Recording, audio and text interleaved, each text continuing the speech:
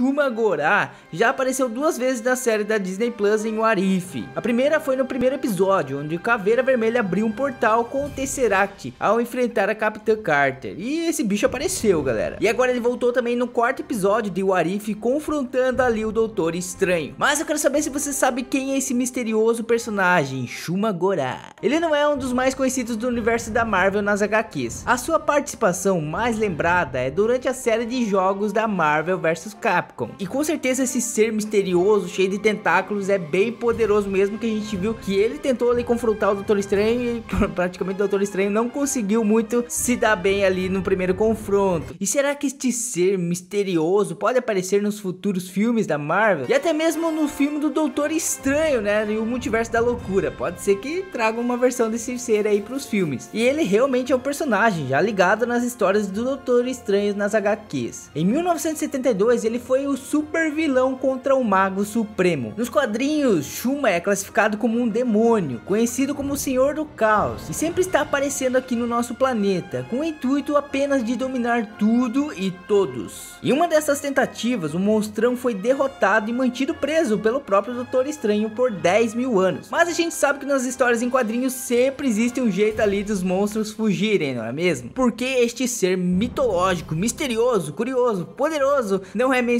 tantas vezes nas histórias em quadrinhos e até em filmes. Provavelmente porque ele é um ser difícil de ser derrotado e muitas vezes ele precisa ser apenas aprisionado por um certo momento. E deixam de lado lá, né, até que este ser realmente seja colocado em alguma história aí. E nerds, ele é um ser de natureza extradimensional, o que podemos ter em conclusão ou talvez tentar puxar para o filme do Doutor Estranho no Multiverso da Loucura, não é mesmo? Poderia trazer ali este vilão pro filme, seria muito incrível. Sem contar que agora ele apareceu em dois episódios da série Warif e uma somente contra o Doutor Estranho. Então a gente já pode ter em vista aí, ter em mente que pode ser um vilão aí possível pro filme do Doutor Estranho, né?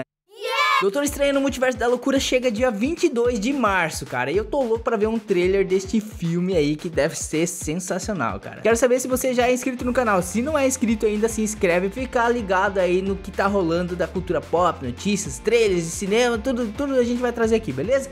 Beijão na sua alma.